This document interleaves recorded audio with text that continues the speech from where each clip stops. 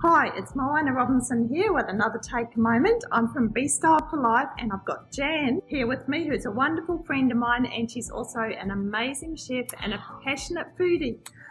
So we're going to chat today about something that affects a lot of people and that's eating out or eating at home if you are a celiac. And I had known Jan for quite a long time before I realised that she was celiac. She didn't make a fuss about it. She just used to manage her diet the way that she's always done it um, in a very simple and easy way. So what Jan is doing is she is starting a series of videos to give people inspiration about cooking and eating if you're a celiac. So Jan, can you tell me how you cope with being a celiac? When I first found out, I was quite stressed about it and I, I cried a lot. I thought, oh, Oh, poor pitiful me. Then I thought, hello, there's a lot worse things that can happen to you. And really, if you just take a step back and think, how am I going to do this?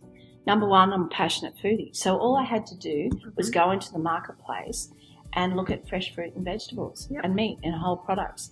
So all I do to make it super easy is just use fresh produce.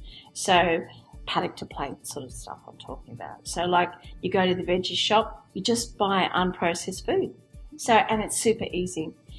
When I first started, I started reading all the packets and I went, you know what? I don't have time for that. Reading mm. all the packets and what's in it and what preservatives are, and there's all different numbers that I don't really understand what they are. Yep. So I thought, you know what? I'm forgetting about that. I'm shortcutting this and going straight to the farmers, mm-hmm. and I'm just dealing with tomatoes, fresh fruit and vegetables, herbs. So then I planted myself a, a beautiful herb garden I got my husband to build me this really nice patch.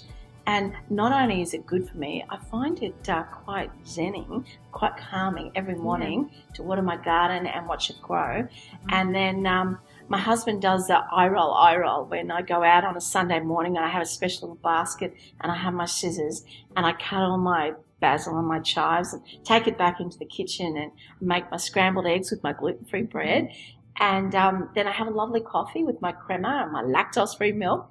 And I feel like a normal person. And it's really not that hard at all. So I think when you have a problem, you just need to take a step back and think, how can I do better and make it easy for myself and take the stress out? So, mm.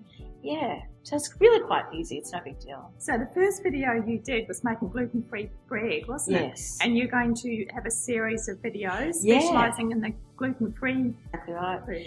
I've had so many. I teach in a cooking school, and um, I work at a beautiful uh, marketplace called Mercado, and I have a lot of my students, a lot of my clients, and I also do consulting for people.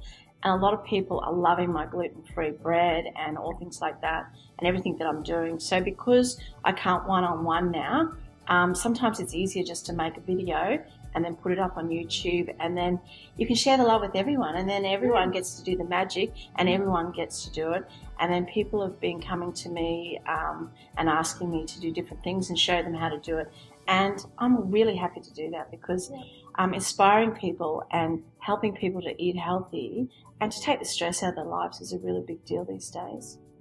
Nice and easy. Nice and easy. That's what we want. Yeah. So you got time to have girl time, yeah. um, like we do a lot, and yeah. go to lunch and work hard, play hard. I say. Exactly. Yeah. Well, Jan, thank you so much for taking a moment. The best way that you can help Jan is watch her videos, get inspired by them, which you definitely will do, and just like and share them with anyone else who you think might be interested.